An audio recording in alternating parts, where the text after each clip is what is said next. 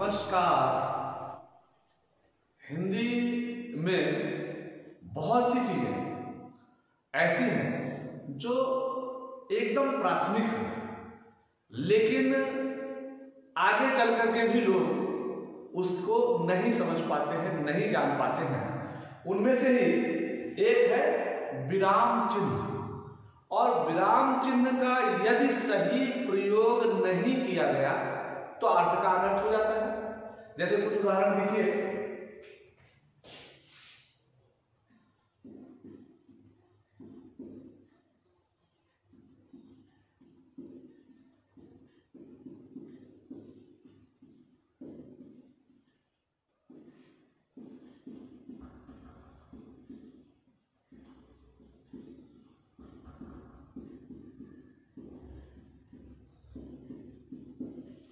ये दो वाक्य हैं इन दोनों वाक्यों में एक ही विराम चिन्ह का प्रयोग हुआ है।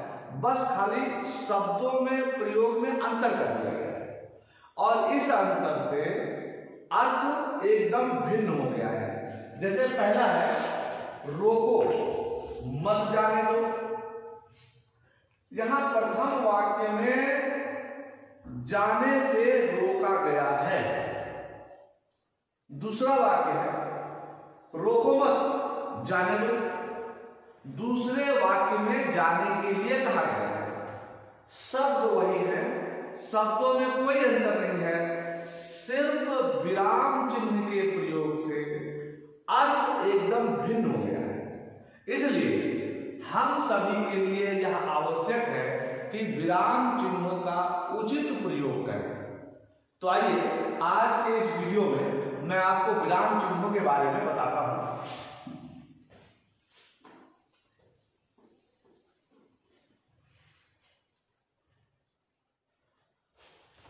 तो हिंदी में कई विराम चिन्ह हैं और व्याकरण की दृष्टि से ये सब आवश्यक है। विराम का मतलब होता है विश्राम। रुकना। कितनी देर रुकना? ये अलग अलग विराम चिन्ह इसको स्पष्ट करते हैं। जैसे पहला विराम चिन्ह है, सबसे पहला अल्प विराम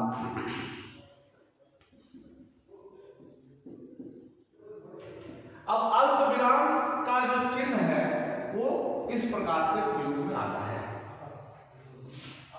अल्प विराम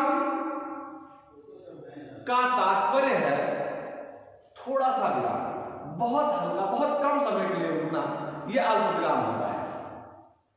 जैसे उदाहरण के लिए राम और सीता, राम, सीता बन गए, बन हो गए। ये एक ही वाक्य का हिस्सा है। दो चीज़ों को इसमें हम राम और सीता भी लिख सकते थे, लेकिन इसका हम जो है अल्प विराम का प्रयोग करके हमने यहाँ पर राम, सीता बन हो गए लिखा है। इसी तरह से सुधीर, महेश, और राम कल दिल्ली जाएँगे।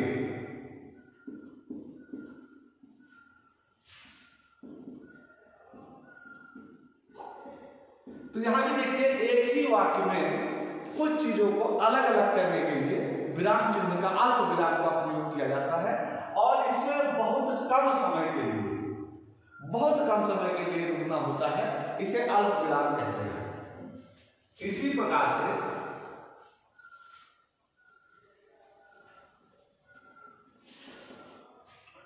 दूसरा है अर्ध विराम।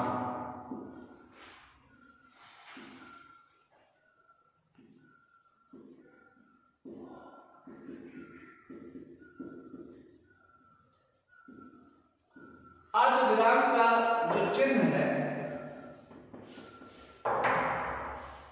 वो वाक्य में इस प्रकार से आता है। अल्प विराम से थोड़ा सा अधिक समय और पूर्ण विराम से थोड़ा कम समय रुकने के लिए जब वाक्य में रुकना होता है तो वहाँ पर अर्ध विराम का प्रयोग किया जाता है। जैसे उदाहरण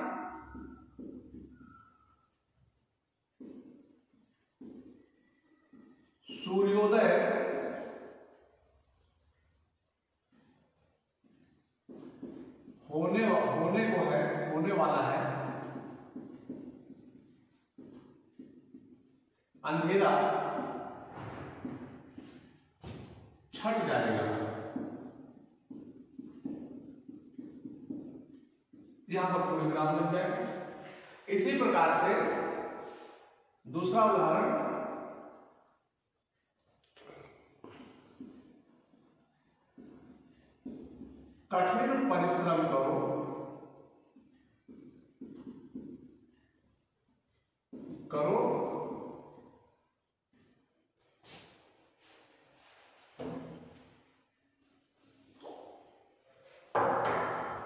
परीक्षा आने वाली है।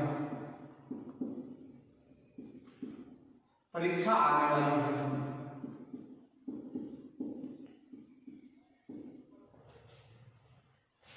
ऐसे ही तीसरा है ये दूसरा तीसरा विराम चिन्ह है पूर्ण विराम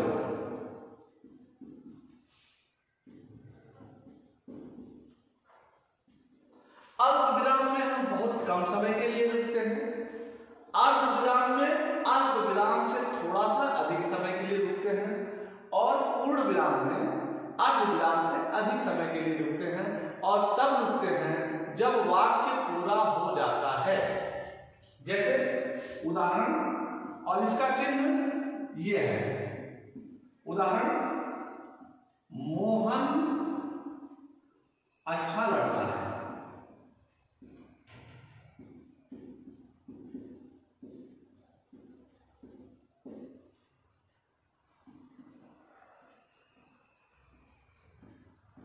श्याम।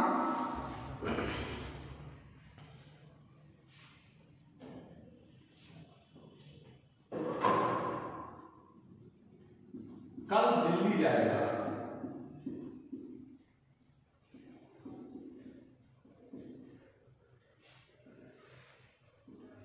तो ऐसे जब वाक्य पूरा हो जाता है तो उस स्थिति में हम पूर्ण विराम लगाते हैं और यह पूर्ण विराम का चिन्ह।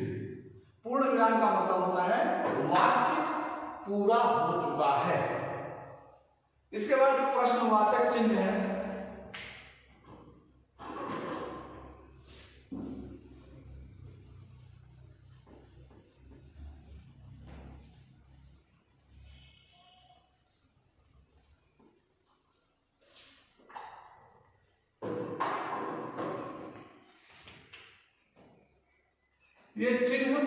प्रकार से भी लिखते हैं।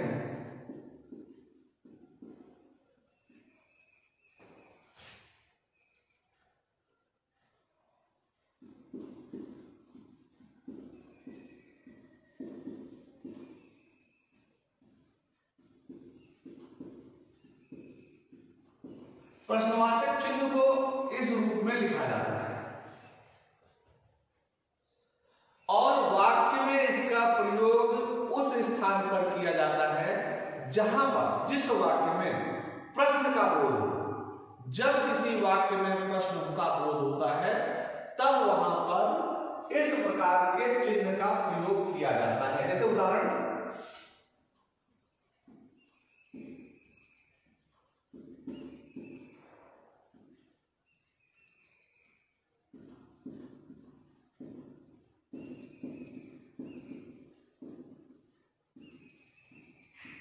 अब यहाँ पर इस चिन्ह का, इस विराम चिन्ह का प्रयोग किया जाता है और इसे प्रश्न सूचक या प्रश्नवाचक विराम चिन्ह कहते हैं। इसी तरह से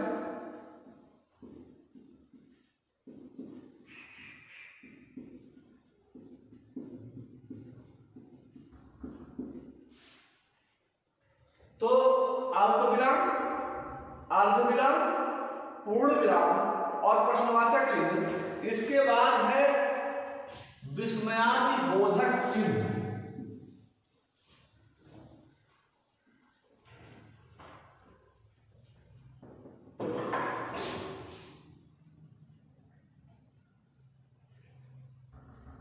पांचवा है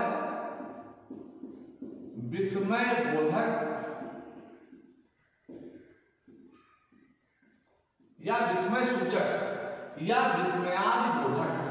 इसको हम इस प्रकार से लिखते हैं। और इसका प्रयोग किन किन स्थितियों में होता है? हर्ष की स्थिति में, आश्चर्य की स्थिति में, दुख की स्थिति में, विवाद की स्थिति में, इस चिन्ह का प्रयोग होता है। जैसे हाय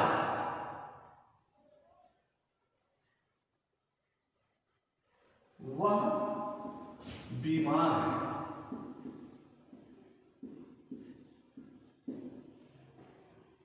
इसी तरह से आह आह आह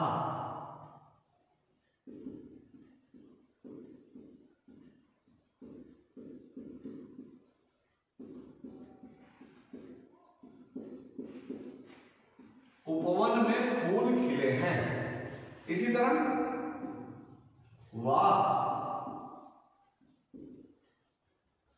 बहुत सुंदर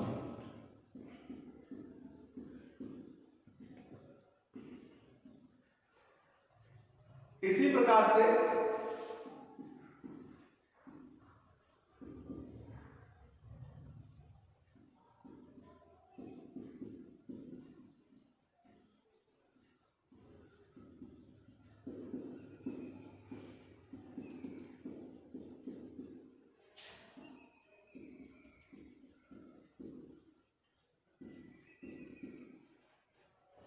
तो ये हुआ विस्मयादि बोधक चिन्ह। और ये हर्ष, विस्मय, दुख विषाद आदि स्थितियों में इस चिन्ह का प्रयोग किया जाता है।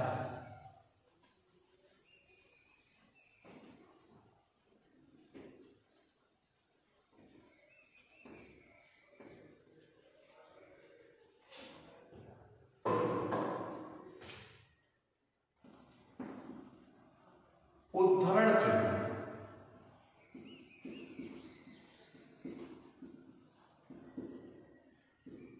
उद्धरण चिन्ह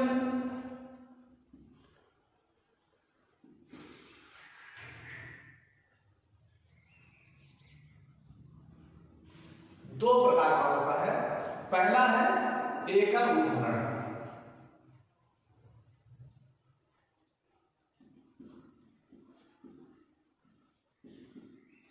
एकल उद्धरण चिन्ह का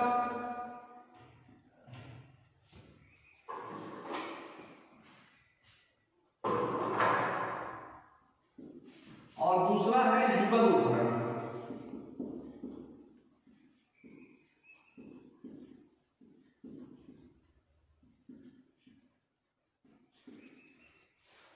तो एकल उद्धरण और युगल उद्धरण। एकल उद्धरण चिन्ह का प्रयोग उस समय किया जाता है, जब हम किसी कथन में विशेष चीज़ पर ध्यान दिलाना चाहते हैं, जैसे एकल उद्धरण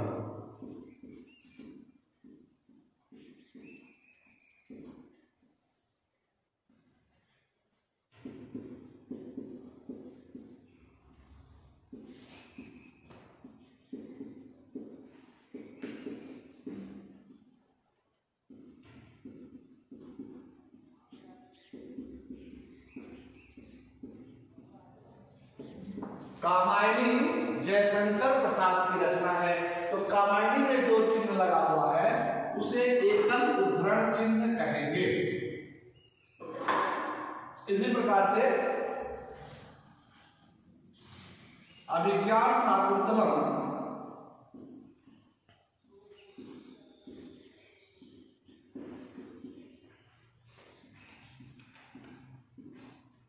कालिदास द्वारा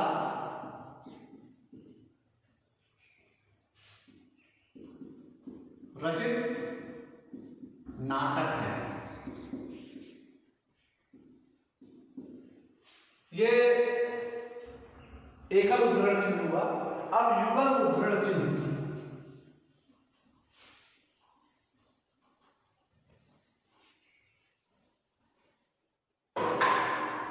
युगल उद्धरण चिन्ह, नेताजी ने कहा,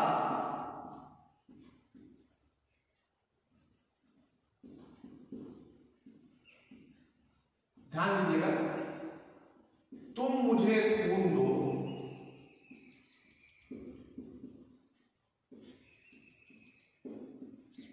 मैं तुम्हें आज़ादी दूँगा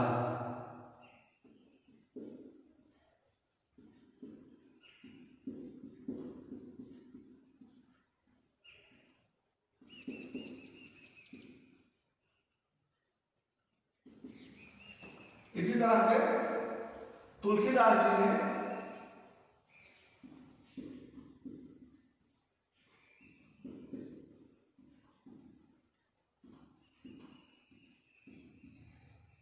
लिखा है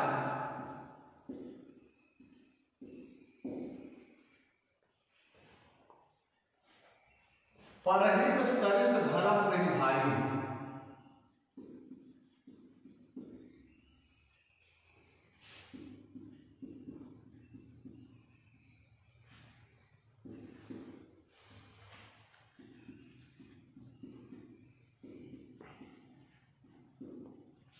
तो ये एकल उद्धरण और युगल उद्धरण चिन्ह का प्रयोग, इसको मैंने स्पष्ट किया। अब इसके बाद है योजक चिन्ह।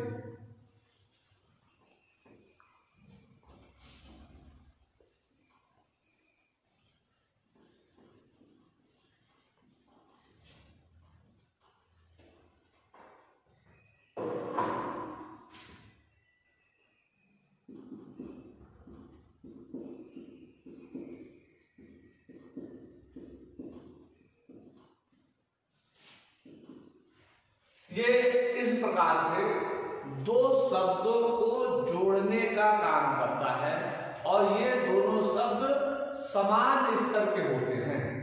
खास तौर पे यह संयुक्त शब्दों में या द्वंद्व समास में इस चिन्ह का प्रयोग किया जाता है। किसमें किसमें?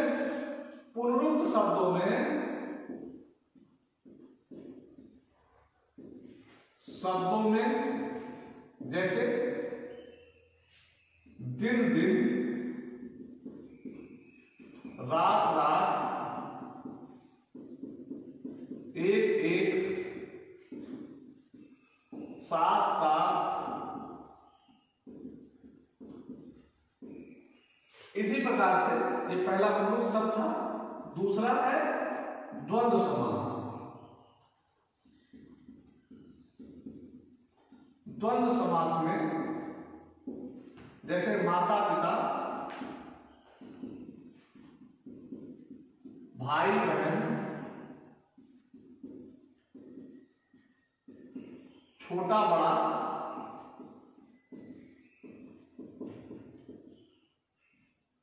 तो इस प्रकार से हमने देखा कि पुनरुक्त शब्दों में पुनरुक्त का मतलब होता है एक ही शब्द दोबारा फिर आ गया इसका प्रयोग होता है या फिर द्वंद्व समाज के शब्दों में इसका प्रयोग होता है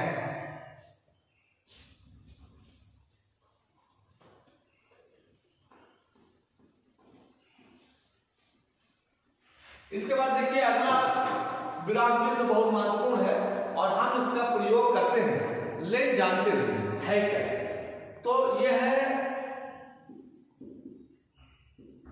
लाघव चिन्ह।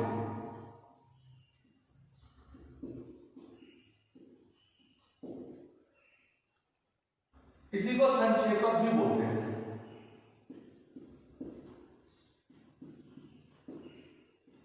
और इसका निशान इस प्रकार से होता है जैसे इसका प्रयोग हम तब करते हैं जब किसी बड़े शब्द को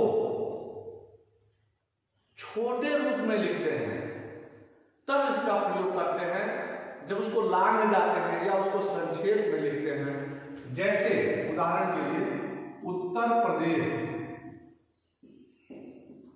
अब उत्तर प्रदेश को हमने क्या लिखा? उत्तर प्रदेश। ऐसे ही मध्य प्रदेश। इसको हमने लिखा मध्य प्रदेश। ऐसे ही डॉक्टर डॉक्टर को हमने ऐसे लिख दिया। तो ये वाला प्रयोग जब किसी बड़े शब्द को हम छोटा करके संक्षेप में लिखते हैं तो उसे लाघव या संक्षेपक कहते हैं। इसी प्रकार से अगला है।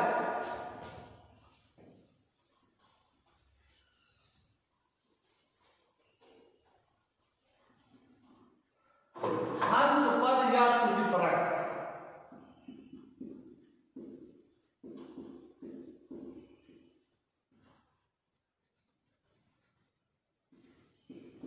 या परक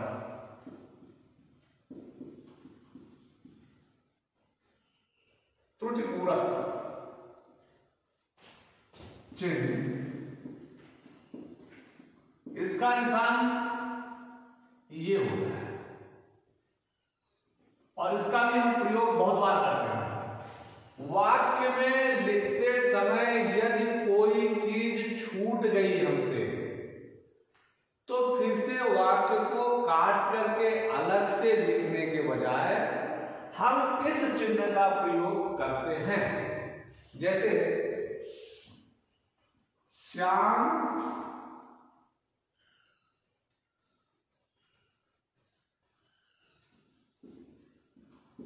लड़का है। अब इसमें वाक्य में लग रहा है तो छूट गया है। तो उस छूटी हुई चीज़ के प्रयोग के लिए हम इस चिन्ह का प्रयोग करेंगे और लिखेंगे अच्छा। श्याम अच्छा लड़का है। इसी प्रकार से मोहन जा रहा है। अब हमको लगा कुछ छूट गया है वाक्य में तो हम यहाँ पर इस त्रुटि पूरक या हंसपद चिन्ह को लगा करके लिखेंगे, स्कूल या घर कुछ भी लिखें जो उचित हो। मोहन स्कूल जा रहा है। इसी तरह से तुम आए लिख दिया हमने। अब इसको तुम आए लिख तो दिया। लेकिन लग रहा है कुछ अधूरा है, कुछ छूट गया है तो हम उसको पूरा करने के लिए तुम कब आए? तो इस चिन्ह का जब प्रयोग हम करते हैं वाक्य में तो ये हंसपद या त्रुटिपूरक वाक्य चिन्ह होता है।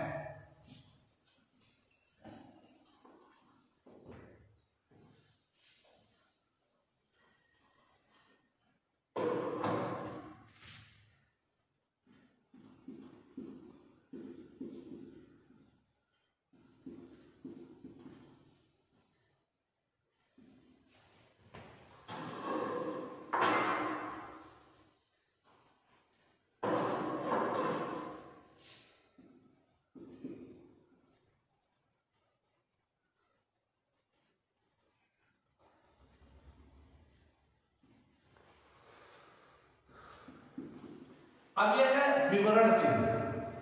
विवरण चिन्ह हम किसी चीज़ का जब विवरण देने चाह, देना चाहते हैं तो वहाँ पर इसका प्रयोग करते हैं। जैसे उदाहरण, क्रिया विशेषण के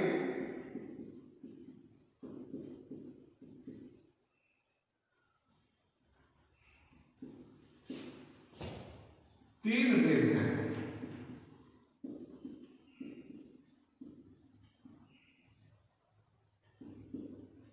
यहाँ पर इस, इसके बाद हम लिखेंगे कौन सी क्रिया विशेषण है। तीन या चार भेद करते हैं। जो भी है ऐसे ही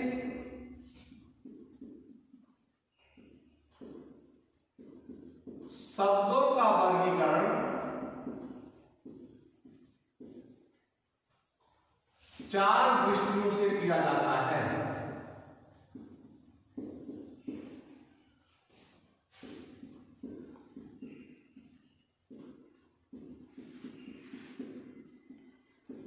यहाँ पर भी हम इसका इस चिन्ह का प्रयोग करेंगे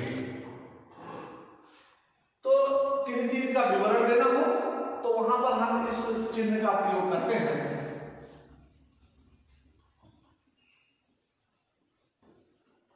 और अंतिम है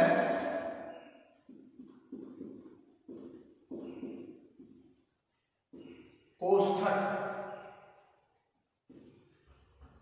इसका चिन्ह कोष्ठक का चिन्ह यह है तो यदि हम किसी चीज़ को विशेष रूप से दिखाना चाहते हैं तो उस समय कोष्ठक चिन्ह का प्रयोग करते हैं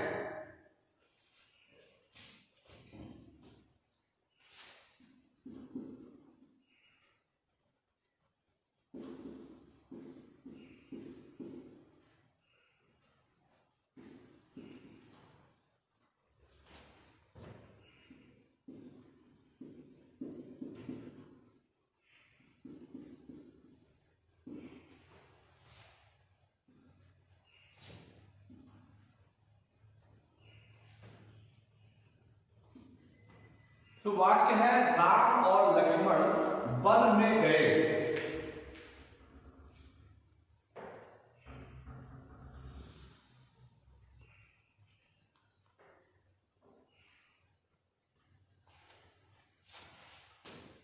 अब इसके अलावा दूसरा वाक्य है, कालिदास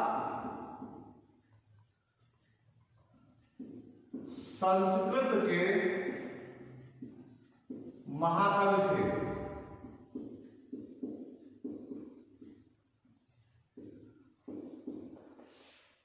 तो कालिदास संस्कृत के महाकवि थे। इसमें संस्कृत के महाकवि, इसको हमने पोस्टर में डाला। तो बच्चों, ये विराम चिन्हों का प्रयोग था।